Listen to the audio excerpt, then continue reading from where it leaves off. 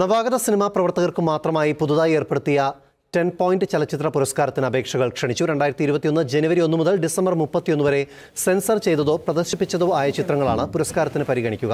November പത്ത് മുതൽ ജനുവരി ഇരുപത്തിയഞ്ച് വരെ അപേക്ഷകൾ സമർപ്പിക്കാം. ഇരുപത്തിരണ്ട് വിഭാഗങ്ങളിലായാണ് പുരസ്കാരം ഏർപ്പെടുത്തിയിരിക്കുന്നത്. ചലച്ചിത്ര ജീവിതത്തിൽ ഒരിക്കൽ മാത്രമാണ് പുരസ്കാരത്തിനായി പരിഗണിക്കുക എന്നതാണ് പ്രത്യേകത. സിനി ഡയറി ഡോട്ട് കോമും ടെൻ പോയിന്റ് മീഡിയയും സംയുക്തമായാണ് പുരസ്കാരങ്ങൾ ഏർപ്പെടുത്തിയിരിക്കുന്നത്. അപ്പോൾ